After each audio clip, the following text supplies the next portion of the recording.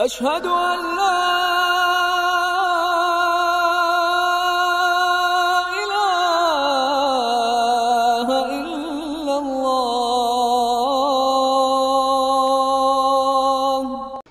الحمد لله والصلاة والسلام على محمد وآله وصحابته الأوفياء وصحابته الأوفياء. والتابعين لهم بإحسان إلى يوم الدين السلام عليكم ورحمة الله وبركاته Ramadan is a month from which Allah subhanahu wa ta'ala wants us to learn many things. Allah wants us to internalize many things from the month of Ramadan. There should be a difference in the way we have been relating with Allah, the way we have been relating with His, his creatures before the month of Ramadan. And after the month of Ramadan, all these learned lessons in the month of Ramadan, we are expected to imbibe them, to put them into practice after the month of Ramadan. In essence, all Muslims are expected to sustain the lessons learned from the month of Ramadan. Today, we want to look at another lesson, important one indeed, from the month of Ramadan. And this lesson is al-ihsan was sadaqah kindness and charity kindness and charity islam taught us at-takaful al-ijtima'i what we refer to as social solidarity. And also islam taught us at-ta'awun bain al-muslimin. Cooperation among muslims on righteousness on good things. As a result of this all Muslims will need to learn from the month of Ramadan how you can be kind and how can you extend the hand of charity to the less privileged.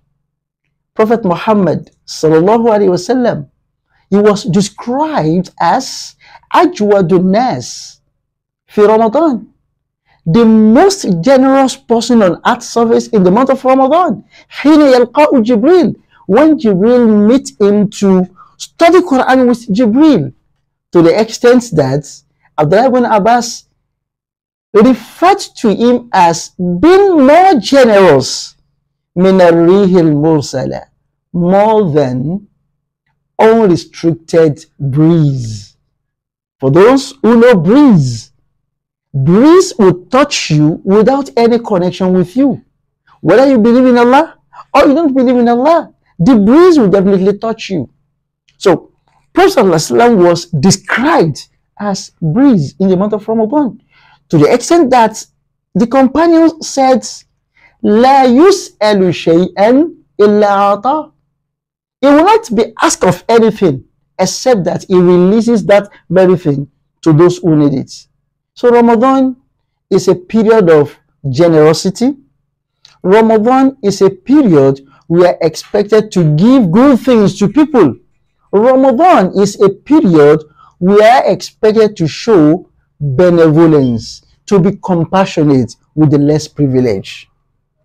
For example, someone that is fasting and you that you are fasting, you will feel the panic of hunger, the pangs of hunger, just like the less privileged people feel it always. But while fasting, you will now experience what they experience.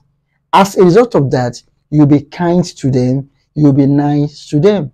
Nigeria is a case study. We are experiencing economic crunch. Some have decided not to be kind to people, but you as a Muslim, learning from the month of Ramadan, be kind to them. Today we are talking about palliative and what have you. Something that through the palliative, they can be more rich. And while those who fear the day of judgment, they have been giving this palliative to people. So whether you are a politician, you are not a politician, use this month of Ramadan to be kind to people.